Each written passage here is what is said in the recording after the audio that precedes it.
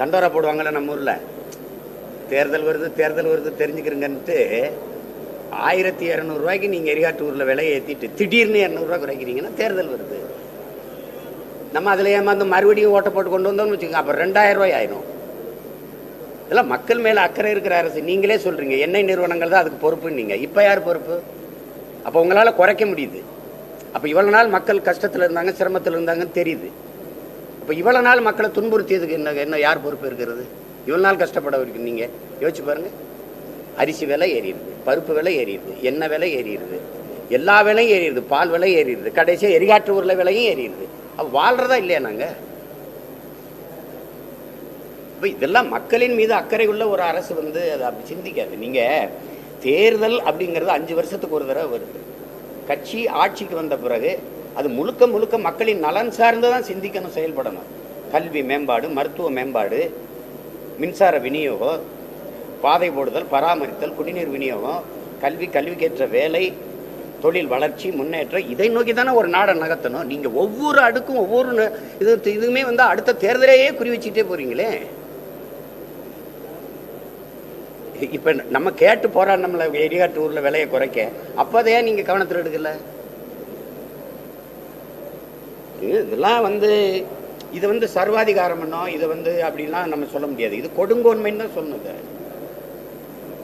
ஐயா இறை என்பது சொல்றாங்க ஒரு நேர்மையாலும் ஆட்சியாளன் ஒரு நேர்மையாளன் சர்வாதிகாரியாகத்தான் இருக்க முடியுங்கிறாங்க அதுக்கு சான்று பெருந்தலைவர் காமராஜர் சிங்கப்பூரினுடைய சிற்பி லீக்வான் யூ அவங்கெல்லாம் சர்வாதிகாரிகள் தான். தன்னலமற்ற அன்பான சர்வாதிகாரிகள். மக்கள் நலன் சார்ந்தே சிந்திச்சாங்க செயல்பட்டாங்க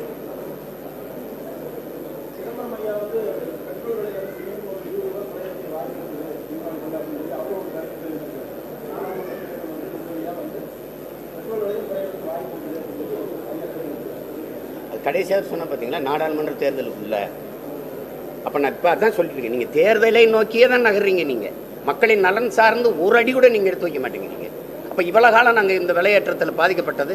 பெட்ரோல் டீசல் விலைன்னு நீங்கள் பார்க்கக்கூடாது அத்தியாவசிய பொருளின் பொருட்களின் விலையேற்றம் அதுக்குள்ள அடங்குதா இல்லையா? இப்போ நீங்கள் ஈரோட்டிலேருந்து மஞ்சள் ஏற்றுறீங்க அல்லது வெங்காயம் ஏற்றுறிய அல்லது ஒரு ஏதோ ஒரு பொருள் அத்தியாவசிய தக்காளியை ஏற்றுறேன்னு வச்சுக்கிறீங்க பாறை உந்துக்கு வாடகை கொடுப்பீல்ல அந்த பாறை வந்து எரிபொருள் போடும்ல? அது டோல் கட்டும்ல சுங்கம் கட்டும்ல? இந்த செலவெல்லாம் எங்கே போய் சேரும்? அங்கே உள்ளே இருக்கிற அத்தியாவசிய பொருள் பால் முட்டை எண்ணெய் நெய் அரிசி பருப்பு உளுந்து வெங்காயம் இதில் போய் சேர்ந்துருதுல்ல?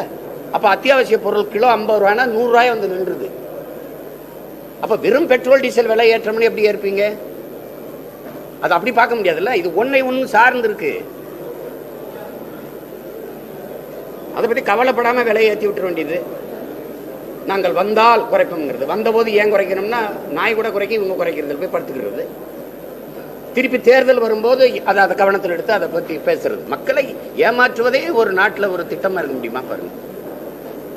நீங்கள் வாயில் தேனை ஊற்றுனா குடிக்கலாம். காதில் ஊற்றுனா என்ன பண்ணலாம்? காதில் ஊற்றுறது நாங்கள் வந்து அவங்களுக்கு ஆயிரம் கொடுத்துறோம். நாங்கள் வந்து ஐநூறுரூவா கொடுத்துறோம். ரெண்டு கோடி பேருக்கு வேலை கொடுத்துறோம். அதை கொடுத்துறோம். இதை கொடுத்துறோம். இனிப்பு பசப்பு வார்த்தைகளை பேசி பேசி பேசி மக்களை நம்ப வச்சு ஏமாற்றி இது இது ஒரு இது ஒரு ஆட்சி முறைன்னு நம்மளும் இது சாய்த்துக்கிட்டு வாழ்றோம் பாருங்க.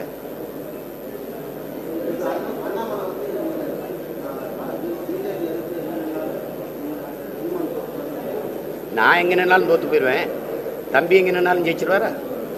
இல்ல பிஜேபி ஜெயிச்சிருமா? நான் தான் ஒரு சிங்கமா ஒரு நேர்மையான துணிவான் நிக்கிறேன். பிரபாகரன் மகன் நான் வந்து நிக்கிறேன். தனியா நிப்பேன். என்னோட யார் வேணாலும் மோதிக்கின்றேன். நீங்க அப்படி நிப்பீங்களா? பத்து ஆண்டுகள் ஆண்டுட்டில நாட்டை பெரிய கட்சிங்கிறீங்களா வாங்கல தனியா தமிழ்நாட்டில் போடுவோம் நீங்கள் நானும். என்னை விட ஒரு ஓட்டு கூட கட்டி வாங்கி கட்டுங்க ஒரு நான் நான் வாங்குற ஓட்டை விட கொஞ்சம் அதிகமாக ஒரு விழுக்காடு வாங்கி கட்டுங்க எதுக்கு வெட்டி போச்சு? நீ நடையா நடந்து எங்கள் ஐயா எடப்பாடி பழனிசாமி வீட்டில் தான் போய் நிறுத்துவீங்க. அவர் முதுகு பின்னாடி நிற்பியா ஒரு அடி முன்னாடி வந்து நிற்பில சொல்லுங்க. அவர் முதுகு பின்னாடி தான் நிற்க போறீங்க. நான் நாற்பது இடத்துலையும் போட்டி விடுவேன். நீங்க எத்தனை இடத்துல போட்டி விடுவீங்க? வேட்பாளர் வச்சிருக்கீங்களா? போடுவீங்களா? அதிகபட்சம் போட்டா ஏழு. எட்டு போடுவீங்க. அதையே அவர்கிட்ட ஏழு எட்டு தடவை நடந்து நடையா நடந்து கெஞ்சி வாங்கணும்.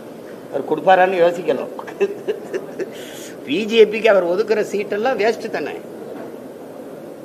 அது மிகப்பெரிய பின்னடைவே அவர் கொடுக்கும். அவருக்கும் சேர்த்து கொடுக்கும்.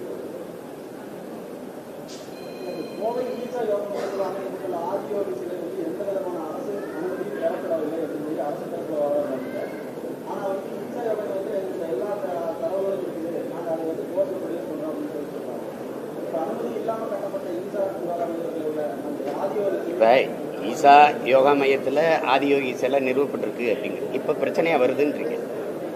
இது இது இதுக்கு பொறுப்பேற்க வேண்டிய ஆட்சியாளர்கள் யார்? அவராக பண்ணிட்டாரா? காட்டுக்குள்ளே அவராக போய் யாருக்கும் தெரியாமல் இரவோட இரவாக நிறுவிட்டு வந்துட்டாரா? ஒவ்வொரு ஆண்டும் அந்த விழாவை எடுக்கிறாரு. எல்லாருக்கும் தெரியுது. நாட்டின் பிரதமர் வர்றாரு முதல்வர் போகிறாரு அமைச்சர்கள் போகிறாங்க தமிழ்நாட்டில் இல்லை இந்தியாவில் இருக்கிற எல்லா முக்கியமான செலிபிரிட்டிஸ் எல்லாரும் போகிறாங்க பார்க்குறீங்கல்ல அப்போ இதை அனுமதிச்சது யாரு? நீங்க காடு ஆக்கிரமிக்கப்படுது அனுமதி இல்லாம அனுமதி இல்லாம கட்ட அனுமதிச்சது யாரு முதல்ல? அது சொல்லுங்க. அப்புறம் அதுக்கு பொறுப்பேற்க வேண்டிய ரெண்டு கட்சியாச்சு தானே? ஒண்ணு இவ இவர் இவங்க இருக்கணும் இல்ல அவங்க இருக்கணும் இப்போ வந்து திடீர்னு அப்புறம் நேர்மையாளரா வேஷம் போடுறது. நாங்கள் வந்து அது அனுமதி கிடைக்கவில்லை அது இப்படி. அனுமதி பெறாம நீ எப்படி கள்ள நடுவாயின்னு வைக்கும் போதே எடுத்துருக்கணும். இப்படிதான் எங்களுக்கு வேலை எடுத்தாங்க பழனியில். அனுமதி இல்லாம வச்சுட்டீங்கன்னு. அனுமதி இல்லாம வைக்கும்போது எங்க போனா அந்த ஆபீசர் எங்க போனாரு ஐஏஎஸ் எங்க போனாரு அங்க இருக்கிற ஐபிஎஸ்சிகள் என்ன பண்ணாங்க இல்ல அங்க இருக்கிற சொல்லுங்க அதிகாரிகள் என்ன பண்ணாங்க? சரி, அறநிலைத்துறை அதிகாரிகளே என்ன பண்ணாங்க? இது அனுமதி இல்லாம இங்க வேலை வைக்காதீங்கன்னு சொல்லியிருக்கணும்ல? அத்தனை வருஷம் கழிச்சு இப்பதான் உங்களுக்கு அனுமதி இல்லாம நாங்க வச்சிருக்கோம்னே தெரியுதுன்னா நீங்க என்ன அதிகாரி? தம்பி ஒரு வீடு கட்டுறதை நீங்க பாத்தீங்கன்னா ஆக்கிரமிச்சு கட்டியிருக்கீங்கிறீங்க நான் ஆக்கிரமிக்கும் போது எங்க போனேன்? எங்க போய் படுத்திருந்தேன்? எனக்கு மின் இணைப்பு கொடுத்துருக்க எரிவாயு இணைப்பு கொடுத்துருக்க வாக்குரிமை கொடுத்துருக்க குடும்ப அட்டை கொடுத்துருக்க நீர் நீர் இணைப்பு கொடுத்துருக்க எவ்வளவு பண்ணியிருக்க வீட்டு வரி வாங்கியிருக்க. ஒரு வருஷம் ரெண்டு வருஷம் இல்ல அறுபது வருஷம். அறுபது ஆண்டுகள் கழிச்சது ஆக்கிரமிப்புல கட்டப்பட்டு நீங்க இடிச்சா வெறிவருமா வராதா? என்ன நிர்வாகம் அது? ஐயோ ஆக்கிரமிப்பு நீர்நிலை ஆக்கிரமிக்காதீங்கன்னு அப்பயே சொல்லியிருந்தா என் மக்கள் வெளியேறி போயிருப்பான்ல. வேற இடம் நோக்கி நகர்ந்துருப்பான்ல.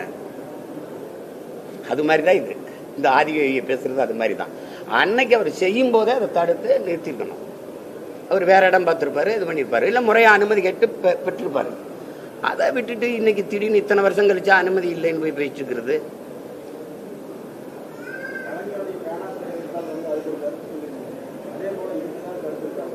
அது இல்லை. இவர் காட்டுக்குள்ள வச்சிருக்காரு அவர் கடலுக்குள்ள வைக்கிறாரு அதுக்கு இல்லை நீங்க அவர் வைக்கும் போது என்ன பண்ணீங்கன்னு தான் கேட்கிறேன் நான். வச்சு எத்தனை நாள் ஆச்சு சொல்லுங்க? நீங்களே சொல்லுங்க. ஆதி யோகி வச்சு ரெண்டு வருஷமா. ரொம்ப நாள் ஆயிடுச்சு ரெண்டு நாலஞ்சு வருஷத்துக்கு மேல இருக்கும். குறைஞ்சது ஐந்து ஆண்டுகள் ஆறு ஆண்டுகள் இருக்கும். அப்ப என்ன பண்ணீங்க? இவ்வளவு பெரிய சிலையை நிறுவுறாரு. அது அனுமதி இருக்குதான்னு அரசு சோதிச்சிருக்கணும். அப்ப அனுமதி இல்லாம எப்படி நீங்க இவ்வளவு பெரிய சிலையை நிறுவுறீங்கன்னு அப்பவே போய் தடுத்துருக்கணும். அதுதானே முறையான நிர்வாகம்ங்கிறது. இவ்வளோ காலம் அமைதியாக இருந்துட்டு திடீர் திடீர்னு பேசுறீங்க. திடீர்னு உங்களுக்கு மாணவர்கள் மேல பாசம் வருது. திடீர்னு உங்களுக்கு மீனவர்கள் மேல பாசம் வருது. திடீர்னு உங்களுக்கு விவசாயிகள் மேல பாசம் வருது. எங்களுக்கும் தெரியுது. திடீர்னு தேர்தல் வரப்போகுதுன்ட்டு. அதுதான்.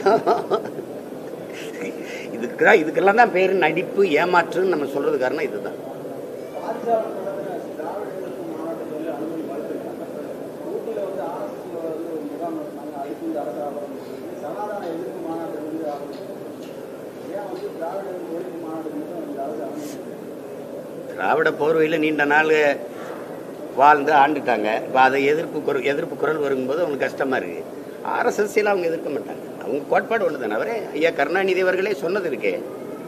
ஐயா கலைஞர் அவர்கள் வந்து ஆர்எஸ்எஸும் திராவிடர் கழகம் போல ஒரு சமூக அமைப்பு தான் அதை நம்முடைய கழக தொண்டர்கள் மக்களிடத்தில் எடுத்து போய் சேர்க்கணும் அப்படின்னு சொன்னது இருக்கே. நீங்கள் வேணா காட்டுட்டான் அவனா உங்களுக்கு அனுப்பிட்டான் பகிரியில் அவரும் அதெல்லாம் அவங்க எதிர்க்க மாட்டாங்க. அது சும்மா சனாதன மாநாட்டுக்கு கொடுப்பாங்க எல்லாத்துக்கும் கொடுப்பாங்க. திராவிட ஒழிப்புக்கு எப்படி கொடுப்பாங்க? அவங்க அதை தான் ஒரு பாதுகாப்பு கேடயமா வச்சிருக்கிறாங்க அதை.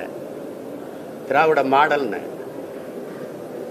நீங்கள் பாக்குறீங்களா திராவிட மாடல் எப்படி எல்லாம் போயிட்டு இருக்கு அப்படின்ட்டு ஒரு கேள்வி கேட்பான் தனி மனித வருமானம் உயர்ந்துருச்சுன்னு நிதியமைச்சர் சொல்றாங்க. அப்புறம் குடும்ப தலைவிக்கு ஆயிரம் ரூபாய்? உயரல இல்ல இப்போ இலவச பஸ் பாஸ் இருக்குது பெண்களுக்கு. இப்போ காலையில் உப்புமா இருக்கு அது தனி மனித வருமானம் தான் போயிடுச்சு. புள்ள வீட்டிலேயே சாப்பிட்டு வந்திருக்கலாம் அப்பே. அப்போது வந்து சிரிச்சுக்கிற வேண்டியதான் வேற ஏதாவது இருக்கு? எப்படி சொல்றீங்க தமிழ்நாட்டுடைய பெருமிக்க அடையாளம் அப்படின்னு ஒரு குறிப்பிட்டிருந்தாங்க ஏற்கனவே தூத்துக்குடியில் நடந்த கலவரத்தின் போது ஐயா இவர் அங்க ரஜினிகாந்த் அவர்கள் அந்த இடத்துக்கு போய் தூத்துக்குடியில் சமூக விரோதிகள் வந்து தொடர்ச்சியா போராட்டம் செஞ்சா நாடு சுடுகாடு ஆகும் அப்படின்ற ஒரு கருத்தை கொண்டு வச்சாரு அவர் எப்படி தமிழ்நாட்டுடைய பெருமைக்கு அடையாளம் எப்படி நீங்கள் அரசியல் அவருடைய நிலைப்பாட்டில் நம்ம முரண்படுறது வேற. ஒரு திரைக்கலைஞனாக அவரை வெறுக்க அவரை நேசிக்காதவன் எவனும் இருக்க முடியாது. நீங்கள் அப்படி தான் பார்க்கணும். நீங்கள் அரசியலில் ஒரு கருத்தை தம்பி அண்ணாமலை சொல்கிறாரு இவர் ஒன்று சொல்கிறாரு ஐயா கே என் நேரு ஒன்று சொல்கிறாரு கே கே சார் ஒன்று சொல்கிறாரு அவங்க உங்களுடைய கருத்து முரண்படுது. அதுக்காக அவர்கள் மதிப்பிற்குரியவர்கள் இல்லைன்னு அப்படி சொல்ல முடியாது. ஆயிரம் முரண்பாடு இருக்குது ஐயா ஸ்டாலினுடைய ஆட்சி முறையில். ஆனாலும் என் மாநிலத்தின் முதல்வருங்கிறதுல என்ன மாற்று கருத்து இருக்குது? ரஜினிகாந்த் எப்போவுமே நம்ம தமிழ்நாட்டிற்கு வந்து பெருமையான ஒரு கலை அடையாளம் தான் அதில் எந்த மாற்று கருத்தும் இல்லை. நான் போய் குழப்பிக்கிற கூடாது.